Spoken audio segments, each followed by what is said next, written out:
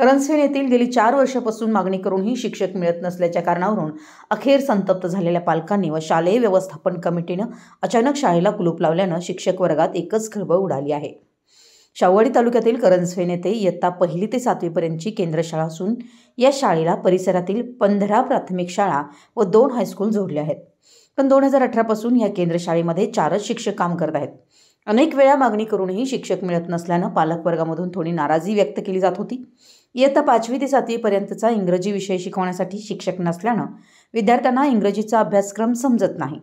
या केंद्रशाळेत पदवीधर अध्यापक एक विशेष शिक्षक तीन व मुख्याध्यापक एक अशी पाच पदं रिक्त असल्यानं व याच परिसरातील पेंडाखळी गावचे केंद्रप्रमुख म्हणून रामचंद्र गोरे यांनी आपल्या गावातील शाळेला मात्र अगदी बरोबर शिक्षक स्टाफ ठेवल्यानं शालेय व्यवस्थापन कमिटीचे अध्यक्ष प्रकाश पाटील यांनी केंद्रप्रमुख गोरे यांना धारेवर धरत आज चक्क शाळेला कुलूप लावलं.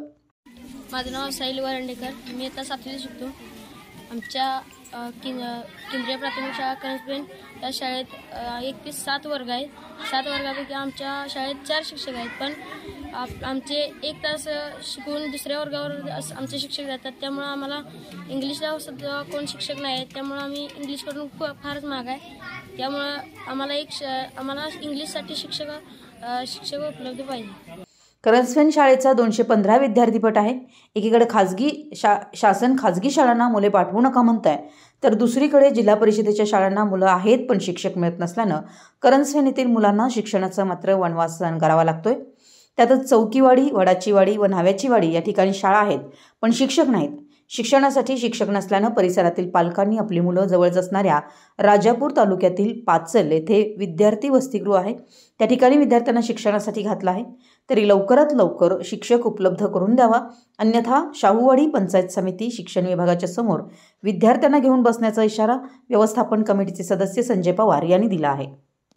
शाळा सुरू झाल्यापासून आम्ही या ठिकाणी पंचायत समिती शिक्षण विभागाकडे तसेच पदाधिकाऱ्यांच्याकडे या ठिकाणी या शिक्षकांची भरती व्हावी यासाठी मागणी करत आहे. परंतु अद्याप आम्हाला या ठिकाणी शिक्षक मिळालेले नाहीत. त्यामुळे आज आम्ही सर्व समिती सदस्य आणि ग्रामस्थांनी या ठिकाणी येऊन शाळेला बेमुदत असं जोपर्यंत शिक्षक मिळत नाहीत तोपर्यंत कुलूप ठोकलेला आहे. आणि जर शिक्षक नाही उपलब्ध झाले तर या विद्यार्थ्यांना आम्ही या ठिकाणी पंचायत समितीच्या प्रांगणामध्ये नेऊन तेथील अधिकाऱ्यांना या मुलांना शिकवण्यासाठी भाग पाडणार आहे असं आमचं पुढचं नियोजन असणार धन्यवाद. मराठी एस न्यूजसाठी शाहूवाडीहून किरण मस्कर.